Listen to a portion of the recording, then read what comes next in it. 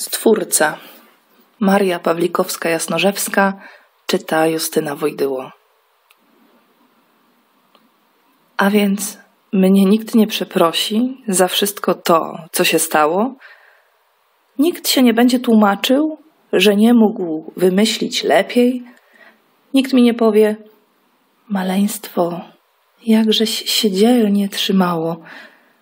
Nikt mi nie powie dlaczego. Nikt mi nie powie dla kogo. Nie wyjmie mi z serca strzały, nie zdziwi się, że z nią żyłam nie pocałuje mnie za to? I przejdę samotną drogą, zgubię się i zarzucę, tak jakbym nigdy nie była? Achilles płakał z rozpaczy, zabiwszy pęty z leje. Lecz ten, co mnie życie odbierze, nie krzyknie z żalu i strachu. Poleci za motylami do kwiatów się roześmieje i zaśnie w złotym powietrzu w sieci najnowszych zapachów.